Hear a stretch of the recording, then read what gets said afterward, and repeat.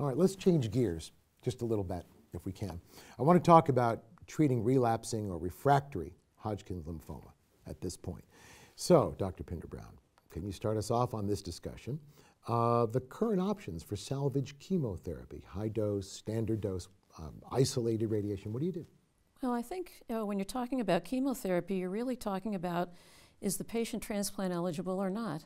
Uh, because clearly the standard of care is to have high dose therapy with autologous stem cell rescue. And if a patient is not transplant eligible, you're going to be talking about more standard doses of chemotherapy or perhaps not chemotherapy in the standard way that we think about it at all. It, it may be some other kind of therapy that you could continue for long periods of time, uh, have disease control, uh, but not cure. And uh, so in terms of salvage therapy, uh, if we go back to NCCN, there's a myriad of choices, none of which is better than the other, of salvage regimens. What are the preferred options for first line salvage and then subsequent lines of salvage therapy? I guess it's what do you like? Well, I like what I wrote. I wrote ICE chemotherapy in 1994, so I prefer to use that particular treatment. Um, I think that the reason we use it is because it's as good as anything else and it's, and it's less toxic than some of the other regimens. Uh, but there are other folks who have you know, strong opinions on the treatment programs that they have. I think that the, I think that the way to think about it, we should give uh, treatment that's adequate to get the patients into a second remission, if at all possible, um, and then uh, collect stem cells and get the patient to a transplant. The response rate to salvage therapy for Hodgkin lymphoma is three out of four patients will respond. Good numbers. Small group, but good numbers. Right.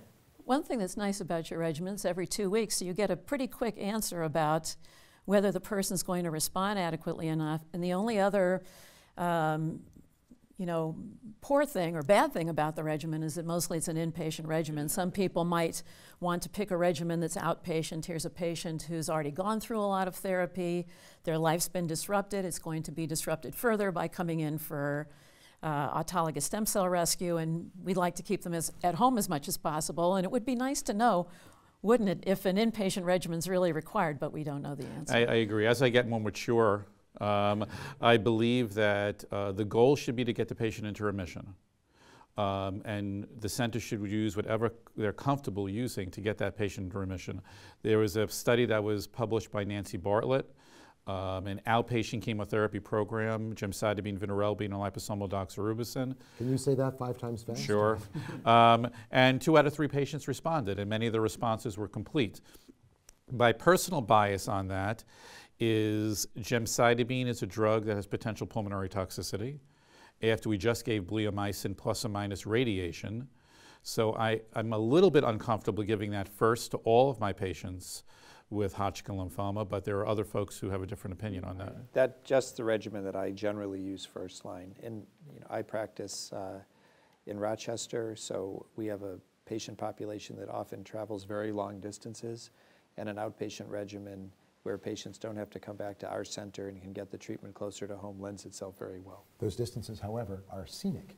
they are scenic, you know, especially when it's raining. Indeed. Right? or As snowing. opposed to snowing. Um, Dr. Moskowitz?